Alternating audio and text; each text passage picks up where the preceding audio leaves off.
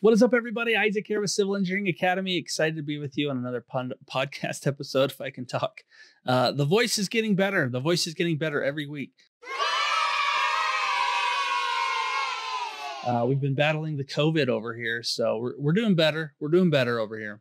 Um, hopefully, you're doing better too. So, anyway, uh, excited to be with you again today. I bring on Danny Luu, who is awesome. He is coming from London to share this episode with us. We finally were able to connect on a time that works.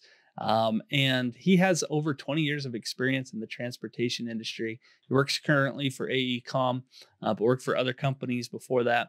And in this episode, we talk a lot about becoming a PEng, or professional engineer, in the UK area.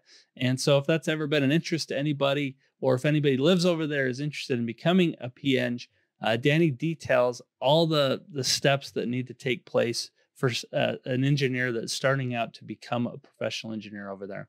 He also runs a website called civilengineeringmentor.com.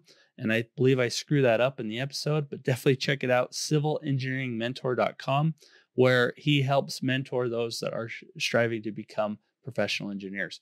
And so uh, we detail all this in the episode. We also talk about great advice and tips for any engineer at any level, really, to upgrade their career and uh, really to become a, a, great mentor for those around us. So, anyway, I really enjoyed my conversation with Danny. I know you will too. And uh, come check it out. It's all coming up right after this. All right, we are going. Danny, thanks for jumping on the Civil Engineering Academy podcast. I appreciate you jumping on and doing this with me. Thank you for having me. Yeah, I know. Uh, I know you're across the pond, and uh, I, I love to bring guests on from around the world just kind of get their experience on being a professional civil engineer uh, outside of the United States and kind of get your opinion about things uh, to help people. I, I, there are many people that want to practice, you know, outside of the United States too, and work on some fun projects in other places. And there's many people outside of the United States that are civil engineers that want to hear good civil engineering news. So thanks for thanks for doing this with me. No, thank um, you for having me, and um, well, hopefully you get to hear about um, proper civil engineering projects from the home of civil engineering. I like it. I like it. Uh, well, Danny, before you know we start diving into this, why don't you tell me a little bit about how you found your way into civil engineering yourself? Um, you know, is this a passion you kind of grew up? Were you good at math? Was there a a father or a relative that was, you know, kind of helping you along the way? How did you find yourself into this world? Well, it's quite an interesting story actually, because um, when I was at school, I actually wanted to be an accountant. Um, mm. I was actually really good at maths, so I thought, well, okay, let's be an accountant. Um, when I was 15, um, we were um, all required to undertake three weeks work experience um, in an industry that we wanted to go into. So mm. what we, what you call an unpaid internship. Um, I'd secured a placement with an accountancy firm local to me. Um, I was really excited um, to to start the placement. But a week before I was supposed to start, they pulled out. Um, so I then had to scramble around with um, my teachers looking for another placement. Um, I managed to secure work experience with a small structural engineering firm, um, and I was amazed by kind of the engineering drawings um, that they had in the office. So this was before the days of CAD. So we're talking mm. the huge drawing boards, the set squares, the pens. I was just fascinated by the level of detail in the drawings, uh, and I was going out on site um, because it was a small structural engineering firm. We were really looking at kind of um, underpinning houses, looking at foundations, nothing major, um, but all that just kind of really interested me. Um, and then that what's made me go and study maths and physics at A level, and then go on to study civil engineering at university. Wow. So you took a tour of this place. You um, you realized there was some interest there, and then you went back, you, you know, to uh, what teachers and told them that you wanted to change course a little bit, or you just no. So this is when I was still at school. So then, what happens at the end of school is then you choose your um, A levels, which is your study before you go to university, and then that's what made me ah. decide to kind of go down the maths and physics route, and then go into civil engineering. Um, I think it's because I, I as a civil engineer, you you you make changes in society, and people can see that. And then I was going to people's houses, um, looking at the foundations, and they were kind of really grateful um, and uh, on on things that we do, and that's kind of what made me want to go into civil engineering. You, you I love it. People say it's like people see the fruits of your labor, really.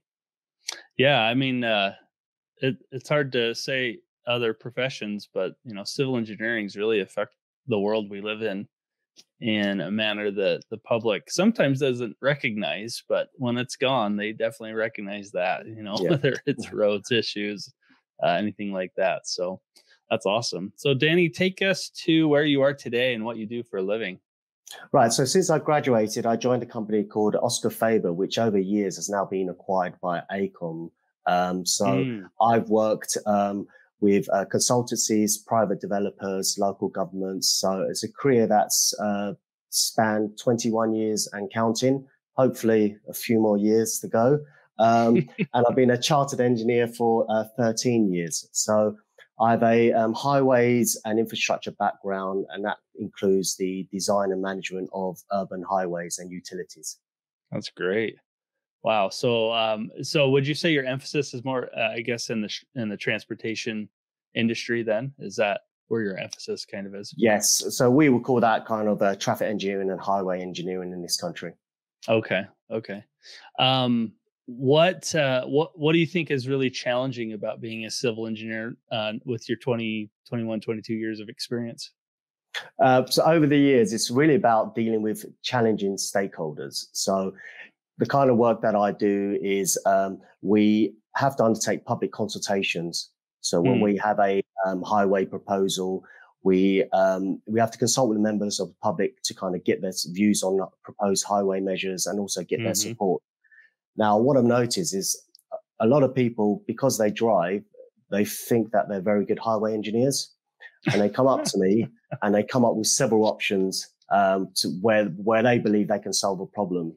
And so my role is to explain the problem. Um, and then um, also one thing is um, people like highway improvements, but just not on their street. They don't want to be disrupted. so um, my challenge is to explain the problem to them, um, invite solutions from them, um, so they they feel they're part of the design process.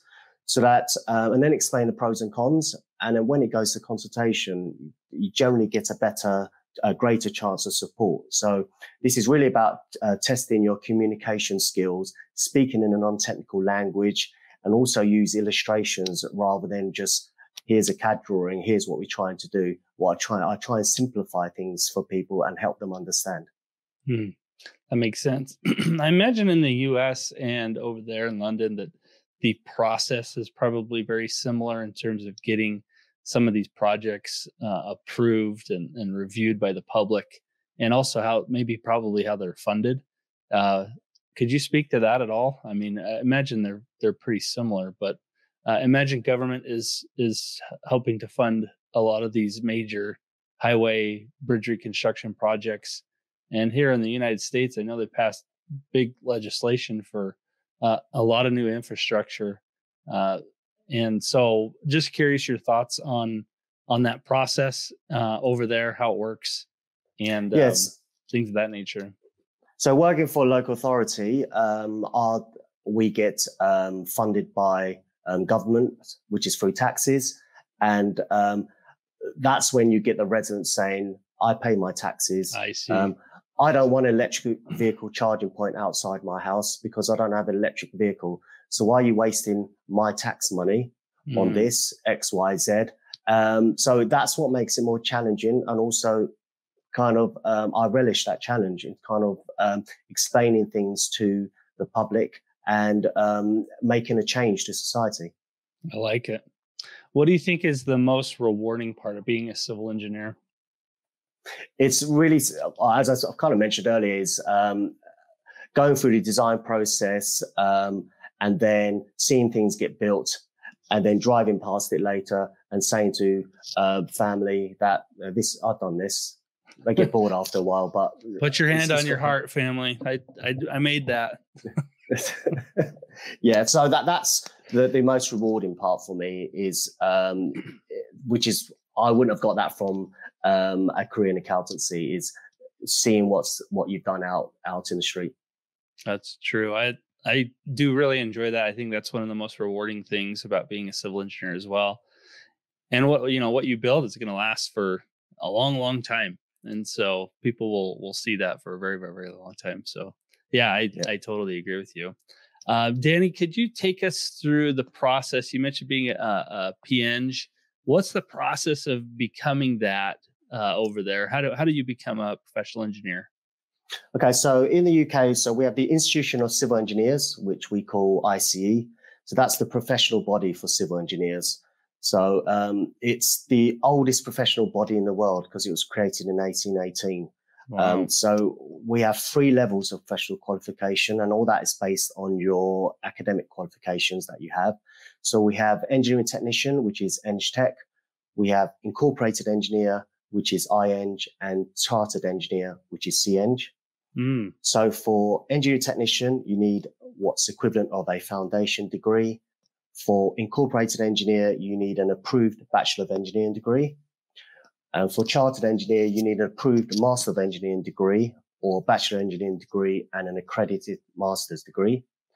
And once you graduate, you need to undertake a period of work experience. And this is where you develop the skills, knowledge, and experience to become professionally qualified. And we call this the initial professional development or IPD process. Hmm. And then once you've completed IPD, you can apply for your professional review. And for iEng and CEng candidates, this includes a presentation, an interview, and a written communication task. Wow. And that is done through ICE that they present that through. Yeah. Interesting. And what how long is that process? Um, you know, to get your work experience before you do that presentation? It depends on the candidate. Um, I've known people do it in three or four years, which is pretty mm-hmm. fast. Um, I I have to admit I slowed down a bit. Um, and then it took me eight years. Um, there's people that take 12, 13, 20 years. Um, it's entirely up to you. I just recommend people get it out of the way as soon as possible um, because the more senior you become in your company, the more hours that you generally work and the harder it is for you to mm-hmm. find time to complete your training. That makes sense and that's the same over here in the United States. You know, the sooner you can um, knock out becoming a professional engineer, the better, because uh, over here they have, you know, they require examinations, and the longer you push that off, the longer you're out of school, the more and more you forget, and the harder it is to get back into the routine. Uh, correct, plus, yeah. plus they combine the um, work experience, so you have to kind of do both. But um, it's I, I love hearing the difference of how to do that. And I'm curious if you know, because I don't know, if you are a professional engineer in the United States and they say, uh, you know, I wanted to move to England or something, would you know of a process that um, is that is that looked at as an equivalent thing, or would I have to apply to become a PEng? Do you know anything about that process? You'll have to look at the ICE website. Um, I believe there is a way to transfer over um, to the equivalent in the UK, um, hmm. but that's something that the ICE will be able to guide you with. Gotcha. Okay.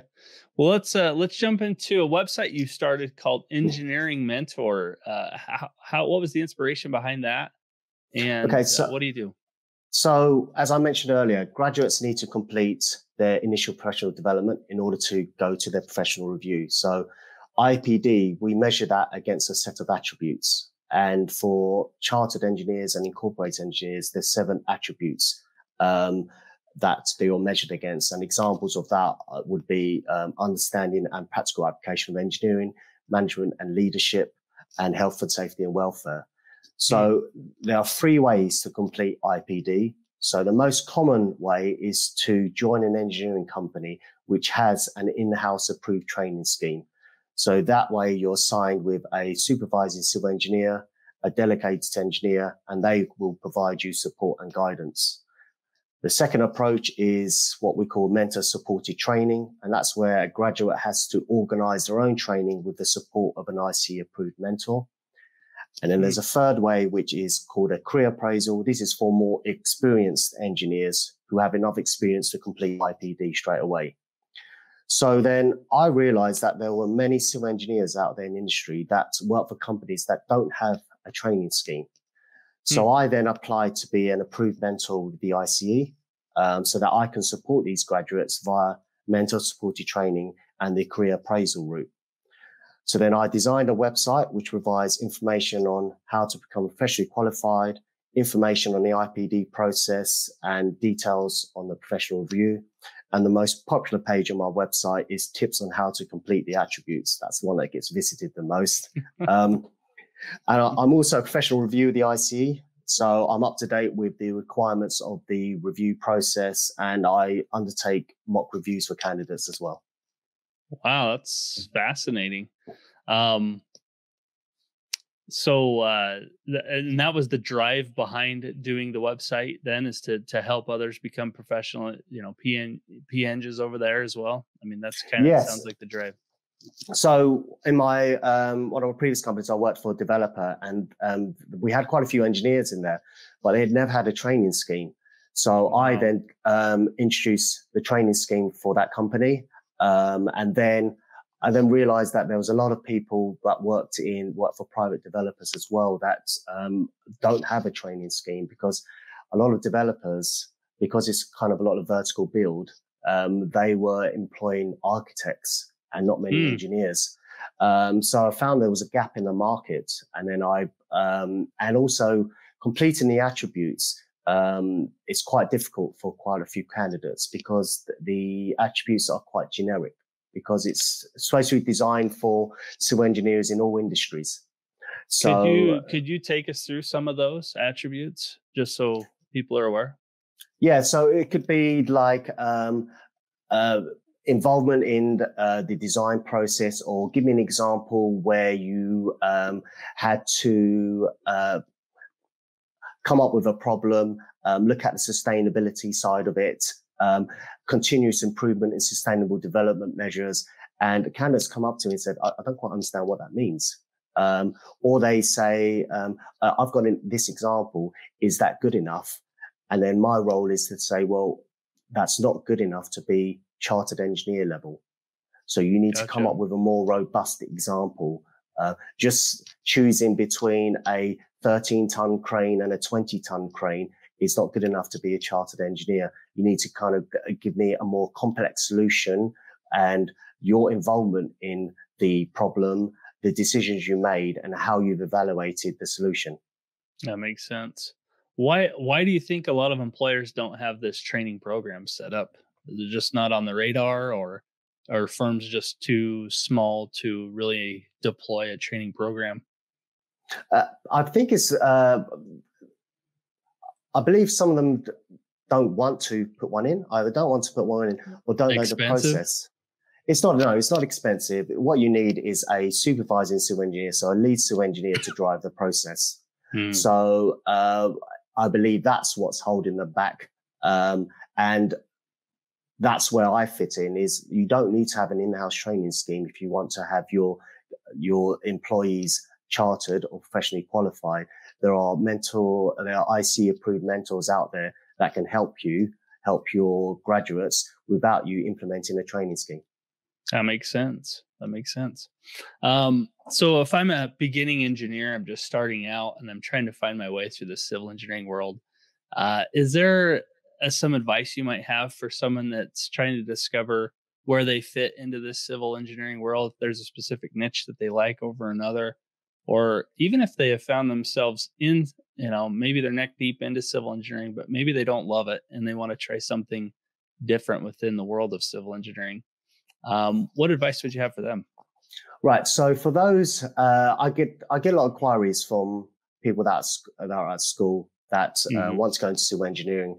Um, I would I would suggest for them to go on the ICE website to find out a bit more um, about it. You know, there's a lot of trade journals out there as well. Um, so that helps you find out kind of what we do as civil engineers. For those that are already in the industry and um, want to stay as a civil engineer, but go into kind of a different field, um, I would say go for it.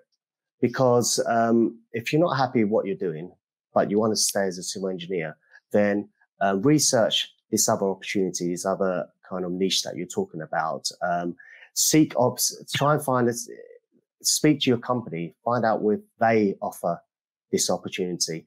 And if they don't, don't be scared to move on. You, you're in charge of your career.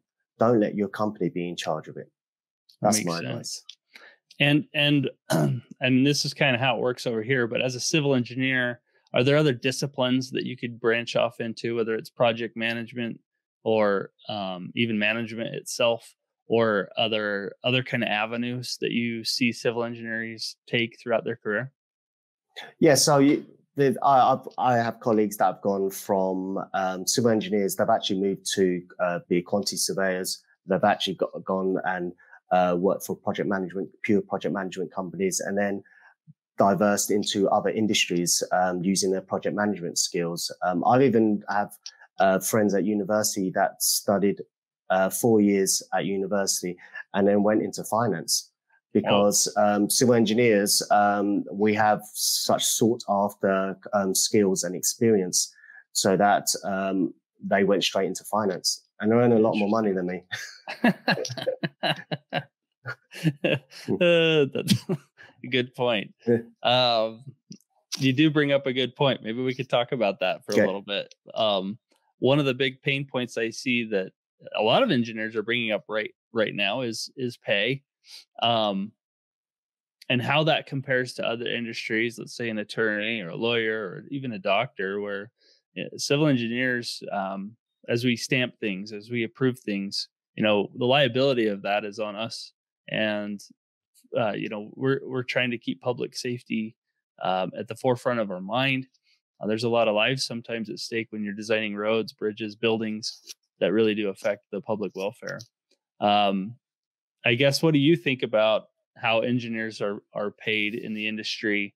Is is it a race to the bottom when projects are bid on by co- companies and try to get uh, a cheaper project, get try to get cheaper engineering, and it kind of trickles down, or what?